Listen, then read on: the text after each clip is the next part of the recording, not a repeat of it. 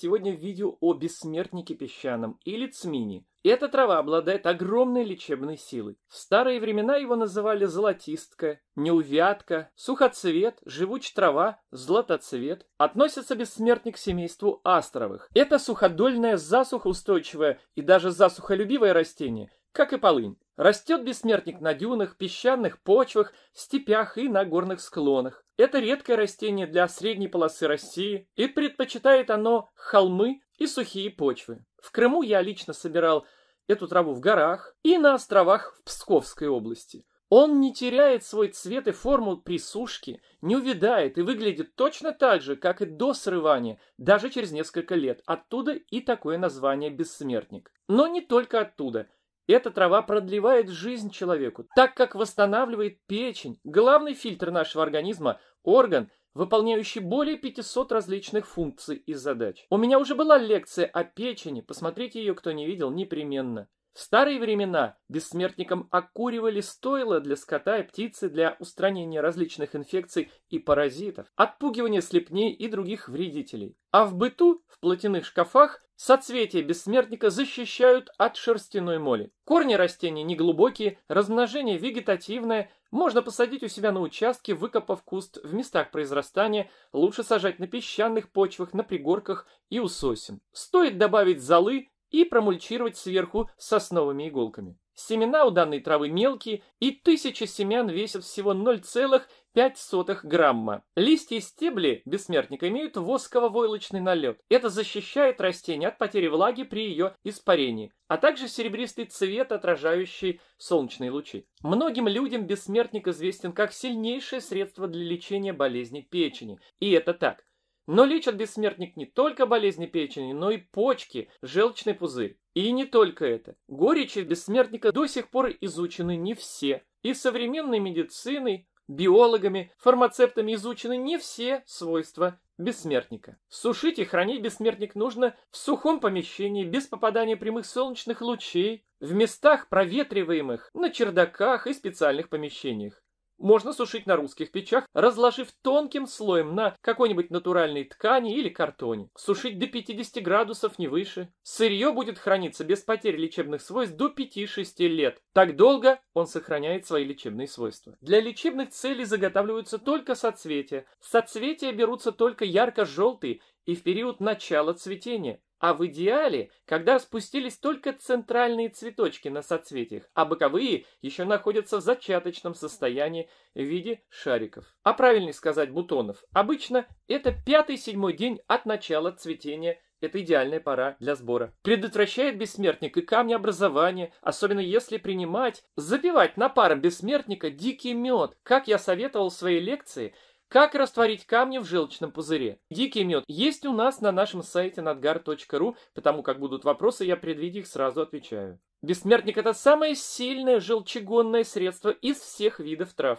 Он разжижает желчь, улучшает тонус желчного пузыря и желчевыводящих путей. Применяется он и при дискинезии желчеводящих путей, при гепатите, когда имеется желтушность кожи, при повышенном билирубине он обязательно поможет, а при желтухе, циррозах всегда помогает. Избавляет он и от запоров, устраняет спазмы в кишечнике и в желчевыводящих путях. Более того, еще и в кровеносных сосудах убирает спазмы, тем самым расширяя сосуды, и у кого повышенное, снижается избыточное повышенное давление. Убирает он тошноту и рвоту, снижает вредный холестерин, применяется при холецистите с повышенной кислотностью желудочного сока и для улучшения жирового, то есть липидного обмена организма. Из бессмертника изготавливают даже медицинские желчегонные препараты, вероятно, вы этого не знали. Какие именно? Например, фламин и зифлан.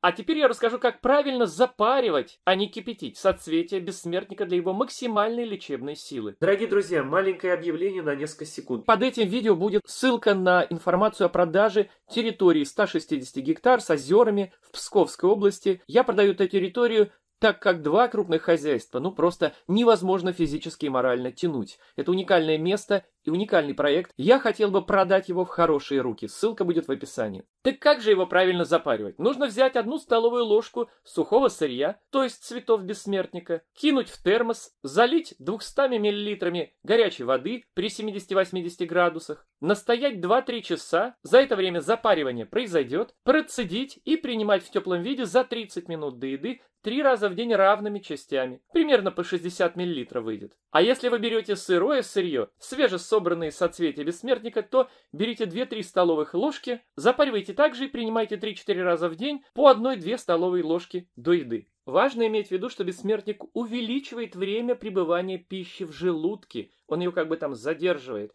Это очень важно, когда, например, повышена перистальтика желудка. Но это плохо, вредно, когда есть у человека язва желудка. Вообще о противопоказаниях я дам информацию в конце данного видео. Есть у бессмертника еще и бактерицидные, а также антипаразитарные свойства. Вернее, он очень хорошо устраняет из желчных протоков лямбли. Это такие простейшие протозоидные организмы одноклеточные. Поэтому бессмертник можно и даже хорошо применять при прохождении комплексной антипаразитарной программы. Самый лучший курс, комплексный, который годится от всех видов паразитов, вот этот. Ссылка на него будет в описании под этим видео. Бессмертник убивает и бактерии в мочевом пузыре, и мочевыводящих путях, поэтому он прекрасно помогает при пилонефритах, циститах и других проблемах мочеполовой системы. Применяется бессмертник и при лечении камней в почках и имеет мочегонный эффект. Кстати, о том, как избавиться от камней в почках, у меня есть видео на моем канале, вот оно. Вот еще одна интересная информация для вас. Из бессмертника изготавливают и природный, натуральный антибиотик для сельского хозяйства, называется он аренарин.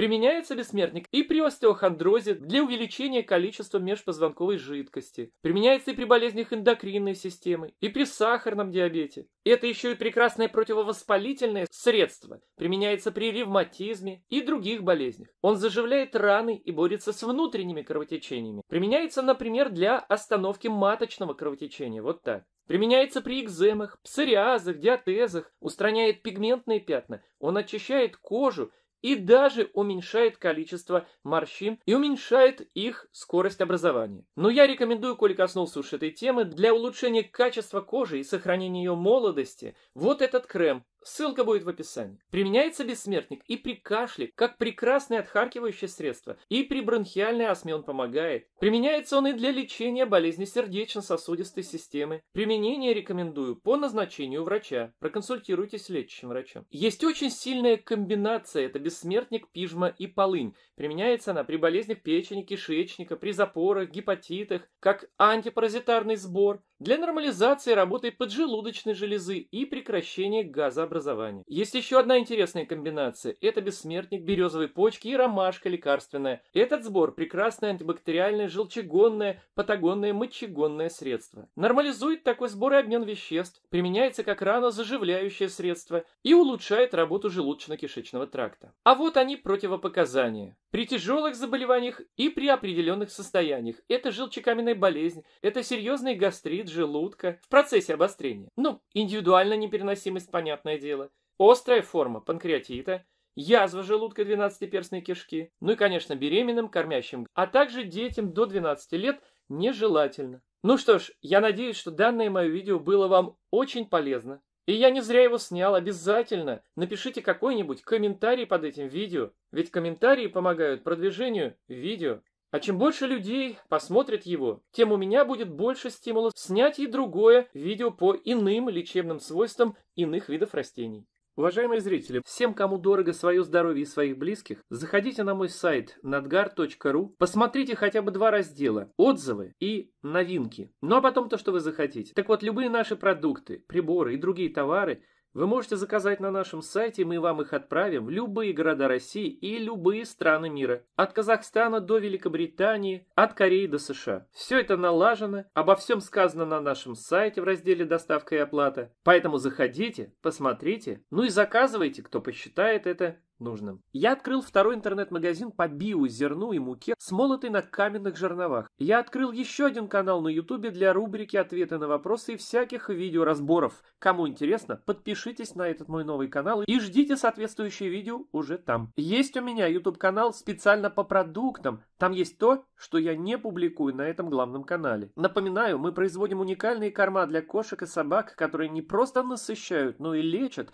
и продлевают жизнь питомцам. Смотрите об этом, вот это важное видео. Даю подсказку на мое видео, как совмещать продукты питания, БАДы и лекарства между собой, чтобы никто меня об этом уже не спрашивал более. Мой совет, измеряйте среду обитания. Ну где вы живете и работаете? На радон, радиацию, электромагнитное излучение. И себя на отсутствие опухолей. Вот раздел про приборы-тестеры. И вот на все это я оставлю вам ссылки под этим видео, которое вы сейчас смотрите. И последнее, под каждым моим видео внизу есть важные ссылки, в том числе на мои соцсети. Очень рекомендую подписаться на телеграм-канал, который дублирует YouTube. Мало ли что с YouTube будет. И там есть также ссылка на индивидуальные консультации. Внимание, нам нужен водитель со своей машиной, кто проживает в городе Зеленоград, либо близко от него, то есть Лобня, Химки, Красногорск, пожалуйста, пишите. Под этим видео будет оставлена почта, куда вы можете написать в произвольной форме, что вы заинтересованы предложением работы водителем. То есть развозить заказы наших клиентов по Москве и в транспортные компании для отправки в другие города и страны мира. Разумеется, человек должен быть нашего мира и мировоззрения, то есть не употребляющий алкоголь,